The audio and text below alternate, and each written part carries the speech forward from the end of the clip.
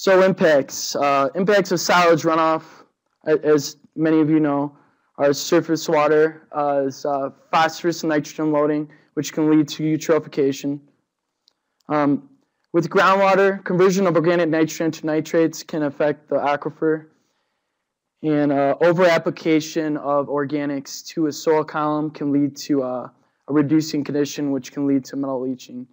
And these all can contaminate an aquifer. All right, so the benefits of my study. Um, the, basically, just a knowledge of the relationship of loading throughout an event. Uh, this could lead to a reduction of utilized manure storage that, are, that is incorporated with silage runoff. Um, this could also lead to more prescriptive loading. We can model to see what we can apply to filter strips and uh, what is being uh, treated so that the groundwater is un unaffected. And this is all for uh, standards for protection of watersheds. All right, just as a background for raw leachate, here, here are the common, common values as cited in literature. pH has a very low pH. Um, and then the nutrients are 10 times higher than raw residential uh, wastewater. Looks like my slide got a little messed up there. And then, uh, so most large dairy facilities use horizontal bunkers.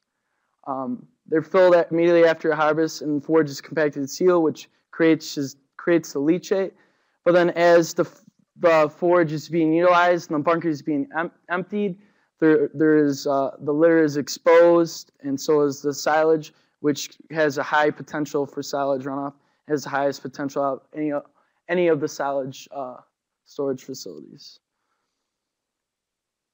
So for the methods, we had three sites that we sampled over spring, summer, and fall, um, all within south central Wisconsin. For collection, we used uh, ISCO automated samplers. Uh, we, we took composite samples, so 14 bottles total, two samples per bottle, and these uh, samples were flow activated. Samples were then refrigerated within the sampler, sampler and analysis was completed at uh, University of Wisconsin. Uh, and al alkalinity, ammonia, BOD, COD, nitrite, nitrite, nitrate, soluble reactive phosphorus, pH, total phosphorus and total solids were quantified. So for the first site in south central Wisconsin was uh, ARS. This was a 530 head dairy, uh, 1.3 acres bunker. Uh, it had separate surface and subsurface collection, meaning uh, subsurface leachate was collected and uh, routed to a manure storage, and then the runoff was collected and um, was collected, but and, and also routed to manure storage. But uh, the red lines there are showing the surface collection. The subsurface are lines showing uh, subsurface collection. And uh, only surface samples were collected at this site. Uh, my sampler's position where the star was. So here's another view showing uh, how the, how the slope of the land was uh, facilitating the surface collection. And then here's the second site, a dairy forage. This is a little bit smaller, 350 head dairy, uh, about half acre asphalt bunker.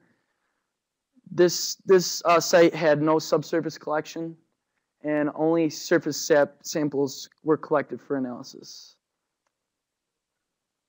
So here's a view from uh, where the sampler is located. located. And then our third site was a pretty large dairy, 3,500 head dairy, almost two acres bunker pad. It had surface and subsurface collection, and surface and subsurface was sampled. So the three sites had uh, different different uh, bunker constructions and designs for surface and subsurface collection. So after the data was collected, methods for analysis, the, the mean average storm uh, nutrient concentration was looked at for each storm at each site. And then also the flow data and the new loading data was normalized. Uh, this was a percentage of volume with percentage of cumulative load. This was so that the storms could be compared as uh, we collected a wide range of storm uh, storm or rain, rain events. And then with these curves, as, you, as shown in this illustration, a curve going straight up is more of a strong first flush. A curve at a 45 degree angle is uh, a uniform load, meaning loading did not change over the storm.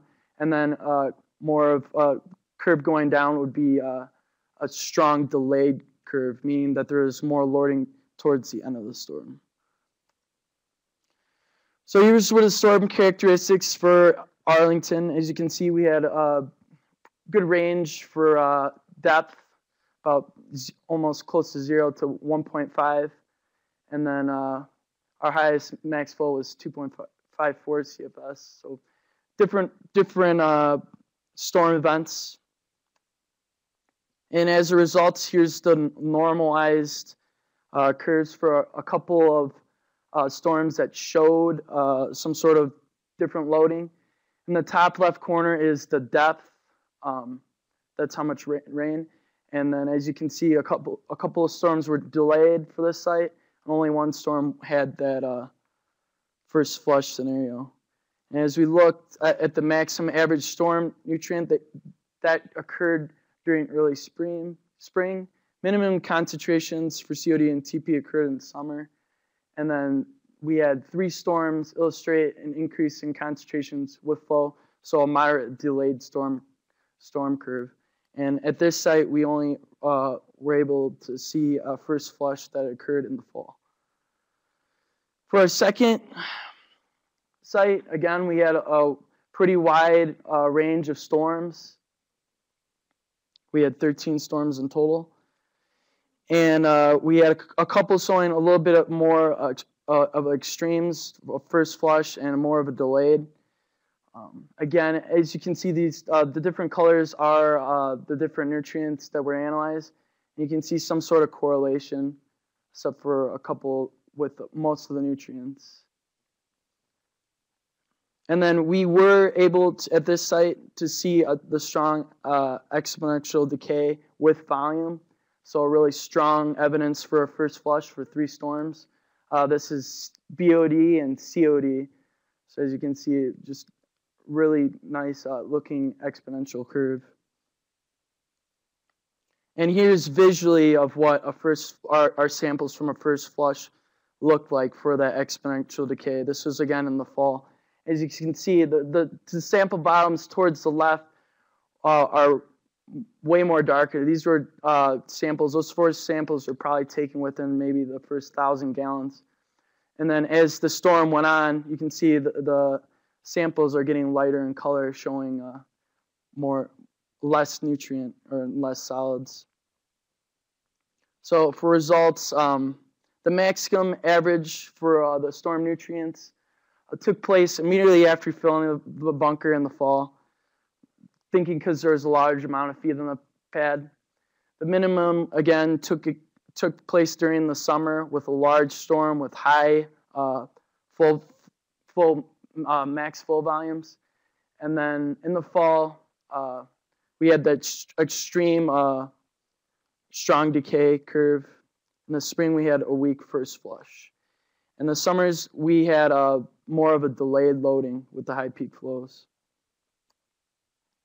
So for the third site, we had 11 storms sampled. Again, we had different storms showing different loading depending on the time of year, as you can see with uh, these graphs here with the different storm sizes. These are all the same rain depth, and they, they're showing different uh, uh, load distributions. And then for this site, uh, because of the sampler position in a culvert, uh, lag time and samples may have missed peak concentrations. So we might not have been able to see a first flush. But uh, the max for the flow weight and nutrients are, took place uh, close to filling. Minimum were in the spring for the minimum weighted flow concentrations. And uh, some summer runoffs uh, displayed a moderate delayed storm curve. And we had uh, one show a moderate first flush. So conclusions, what do we do with all this data? Um, strongest first flush evidence took place in the fall. This is with filling. Uh, there's more leachate on, on the pad, and um, highest average storm nutrient concentrates were in the fall, in the following filling, and, and sometimes in the spring. And then the lowest average storm nutrient concentrations were in the summer. And uh, again, the summer showed more delayed. This could have been because uh, there was less, there was more uh, litter on the pad following uh, the bunkers emptying. And then high in concentrations among all sites were for dairy forage initial samples, where we could actually see uh, those uh, first thousand, we could actually collect those pretty well at dairy Forage. So some people I like to acknowledge, I'd like to acknowledge the, the funding, Wisconsin Ground Groundwater Recording Council, my advisor, and some people that helped me in the lab and my committee. Now I'd like to open up for questions.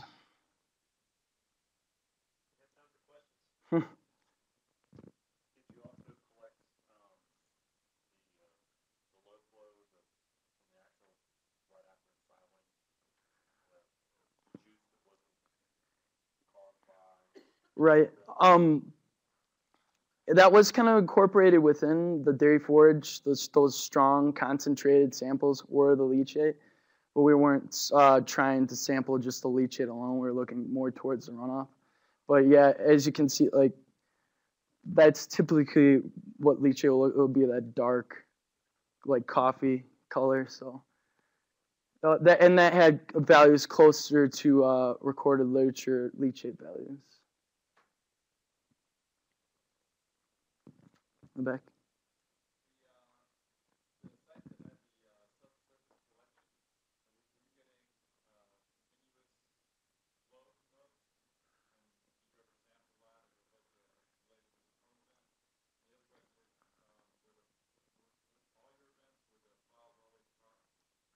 Okay. First question uh, was with subsurface and whether I was collecting it.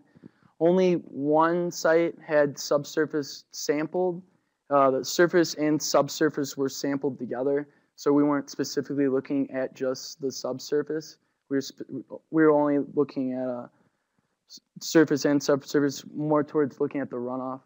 But and and the these bunker piles were covered majority of the time. They they're only uncovered when they're uh, unloading them to feed the cattle.